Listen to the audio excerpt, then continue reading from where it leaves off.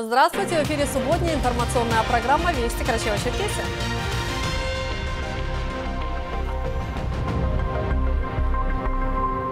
Черкесск ждут позитивные перемены. На городских территориях началось масштабное благоустройство в рамках федеральной программы формирования комфортной городской среды. Уже приступили к работе, благоустраивают 8 придомовых территорий и двух общественных пространств.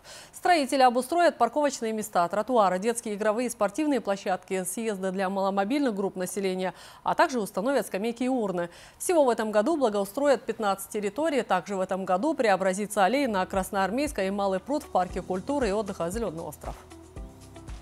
Все лучшее детям. В Черкеске открылся центр для детей с ментальным нарушением речи. Как отучить особенных детей от гиперопеки родителей и научить самостоятельно справляться с домашними делами, расскажет Майя Хамдухова. Проект «Мам, я сам» создан при поддержке фонда президентских грантов. Он направлен на помощь семьям Карачаева-Черкесии, где воспитываются дети с ментальным нарушением речи. Направление данного центра – это именно обучение бытовым навыкам для детей с ментальными нарушениями и неврологическим статусом. Идея данного э, проекта у нас возникла, так как э, в ходе деятельности нашего фонда мы регулярно сталкиваемся с тем, что очень многие детки не самостоятельны. Возможность стать самостоятельным без гиперопеки родителей повысить самооценку детей, что положительно влияет на коммуникабельность и социальное взаимодействие с окружающими, рассказывает педагог-психолог Лейла Абдокова. Чем больше ребенок самостоятельный, тем выше у него самооценка, потому что он знает, я и это могу, я и вот это сам могу. Очень важно, что сам. Да, мы здесь их обучаем и выходить за пределы дома, то есть самостоятельно сходить в магазин, например. Педагогами и специалистами было принято решение, что э, дети у нас будут от 12 лет, потому что данная категория деток, она как раз-таки самая более обучаемая, более, они лучше воспринимают информацию, и это те навыки, которые у них в дальнейшем могут закрепиться. Такая система занятости у детей вне нахождения дома немного заботит отцов и матерей, которые привыкли опекать их. Но главная цель данного проекта – обучить не только ребенка самостоятельности, но и снизить уровень тревожности и беспокойства родителей, которые боятся оставлять детей одних без присмотра. Э, особенность наших занятий состоит в том, что ребенок смотрит на визуальные подсказки, а также на речевые подсказки педагога и поэтапно выполняет работу, которая кажется нам всем рутинной. Э, таким образом, мы закрепляем здесь навык, дома нам родители помогают, и получается, что у него какие-то жизненно необходимые самостоятельные навыки уже вырабатываются на, на автомате. Благодаря проекту «Мам, я сам» у воспитанников центра уже наблюдается положительная динамика. И это, пожалуй, лучшее наблюдение для родителей, у которых есть возможность следить за процессом обучения и воспитания дистанционно. Специализированная помощь как бы вот впервые. Я очень рада. Мы надеемся, что будем ходить э, не первый раз, уже не первый потоком. И научимся многому, которые в дальнейшем жизни нас это все пригодится. Потому что это необходимость такая острая, когда особенно ребенок, чтобы он самостоятельно мог выполнять элементарные вещи. В самом центре царит приятная домашняя атмосфера. Любимые игрушки и гармоничное оформление интерьера центра создают комфортные условия для развития детей. В каждой комнате для них подготовлены карточки с заданиями для их обязательного выполнения. И каждый профильный специалист учит ребенка режиму, по которому у них вырабатывается такая обязательная форма ответственности. Ведь любая мама мечтает о том, чтобы ее ребенок стал самостоятельным, чтобы ежедневные дела по дому не стали бытовой рутиной, а наоборот приносили радость и удовлетворение как родителям, так и детям. Майя Хамдохова, Михак Аракелян, Вести, Карачаева, Черкесия. Сейчас о погоде на выходные, а после продолжим.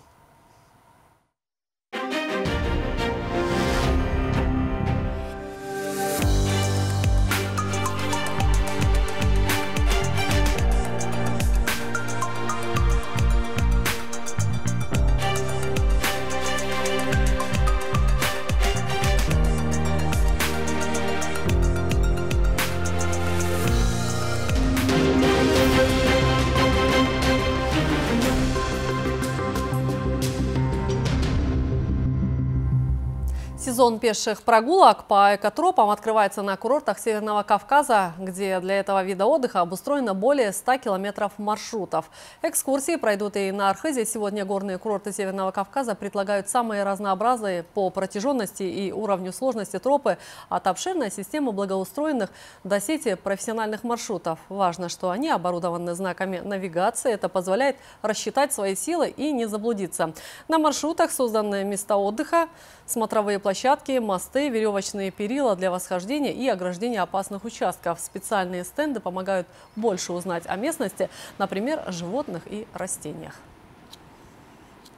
Эксклюзивные ювелирные изделия можно было увидеть на выставке на базе Северокавказской академии. Автор представленных работ, член Творческого союза художников России и Международной ассоциации союз дизайнеров Мурат Салпагаров. Подробности у Али Баташева.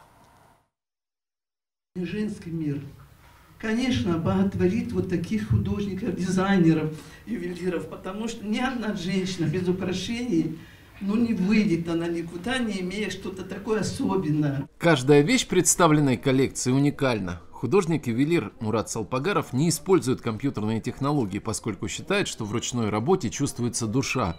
Изделие выглядит как живое. И хотя выставка содержит лишь небольшую часть его работ, а другие представлены только на фотоснимках, ощутить власть красоты оригинальных ювелирных изделий и пообщаться с автором пришли студенты, преподаватели и множество приглашенных гостей. Думаю, что не ошибусь, если назову, что это произведение искусства, шедевральные вещи, которые мы сегодня видим и на картинках, и в натуре они представлены, и девочки вот сегодня украшения, которые на них находятся, они просто действительно дополняют ту красоту горянок наших замечательных. В свои 39 лет у Мурата семья, собственная ювелирная мастерская и международное признание. Он получает второе высшее образование на факультете дизайна и лингвистики СКГА. Первая коллекция украшений эльфийская вышла в 2008 году по мотивам произведения Толкина «Властелин колец», где была показана эльфийская архитектура, построенная на переплетении тонких линий. Затем автор создал коллекцию «Энигма», вдохновившись одноименной группой. Главными образами, используемыми автором, стали бабочки и пауки.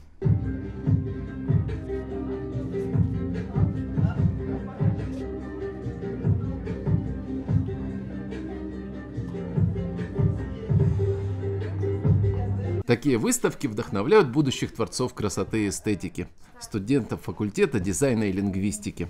Сам автор с удовольствием делится с ними секретами мастерства. Чтобы они это не обманывали себя, а занимались тем, чем вот им нравится, и всегда быть этому верным. Вот у каждого человека есть своя профессия, свое увлечение.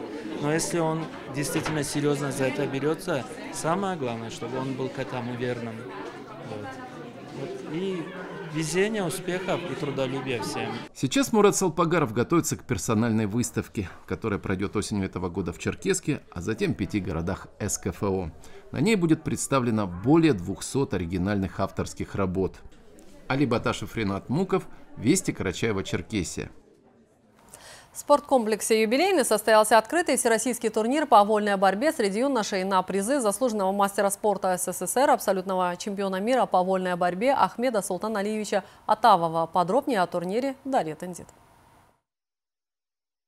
История Ахмеда Атавова, девятиклассника, началась в городе Черкеске, во дворце спорта «Спартак». Этот человек самым главным образом отличается и стал абсолютным чемпионом мира благодаря своему беспримерному мужеству. Всероссийский турнир по вольной борьбе собрал спортсменов из восьми регионов. 200 человек из Дагестана, Ингушетии, Чеченской республики и Карачаева-Черкесии, Краснодарского края и Абхазии. 20 команд, состоящие из победителей и призеров России. Присутствовали и ветераны этого спорта, а также настоящие поклонники. Главный судья турнира отметил, что организация соревнований на высоком уровне. Хорошая организация.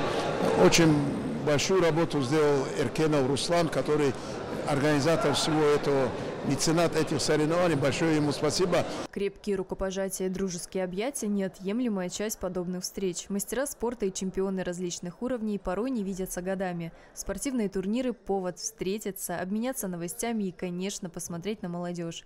Праздник спорта организовали по инициативе известных спортсменов при поддержке парламентариев Карачаева-Черкесии и меценатов. Во-первых, много друзей, и среди этих друзей, ну, наверное, с десяток чемпионов мира, Европы, обладатели Кубка мира, Советского Союза, много заслуженных тренеров СССР, России и просто друзей.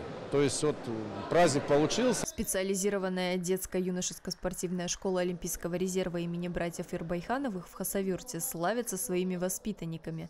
Старший тренер школы привез на турнир своих лучших спортсменов.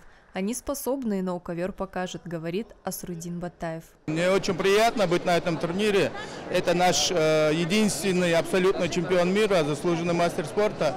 Э, честь который проводит этот турнир. И такой хороший праздник получился, спортивный. Прославленные спортсмены, парламентарии республики и члены правительства приветствовали участников турнира. Спортсменов поздравляли и желали победы на ковре. Со словами приветствия к присутствующим обратился заслуженный мастер спорта России, депутат парламента республики Наурус Тимрезов. Он отметил, что проведение таких мероприятий необходимо для молодого поколения. Сегодня в нашей республике одна из важнейших приоритетных задач укрепления межнационального, межконфессионального согласия и мира. Поэтому сегодня мы иной раз показываем свое уважение и почет. Ахмед Султан Алиев, пусть такие э, выдающиеся спортсмены у нас рождаются и прославляют нашу великую страну. В течение двух дней боролись вольники за право обладать золотом, серебром и бронзой. Самые сильные и стойкие стали обладателями золотых медалей и ценных призов. Это все делается для, для детей. А с этими ребятами, что приехали ко мне поддерживать, я их и так вижу в жизни. Сегодня, что в один день мы все собрались, это здорово. Дарья Тендит, Галина Алиева, Миха Каракелян, Вести Карачаева-Черкесия. А в ауле Кызыл-Октябрь Зеленчукского района во второй раз проходит открытый турнир по борьбе на поясах Тутуш, посвященный памяти Магомеда Хусеевича Чутчаева. Помимо борцов нашей республики для участия приглашены спортсмены из Дагестана, Ингушетии, Чеченской республики, Кабардино-Балкарии, Краснодарского и Ставропольского краев. Открытый турнир по борьбе на поясах памяти Магомеда Чутчаева пройдет сегодня и завтра. Кто стал победителем, расскажем в понедельник в наших информационных выпусках. На этом субботний выпуск «Вестей» подошел к концу. Приятных вам выходных!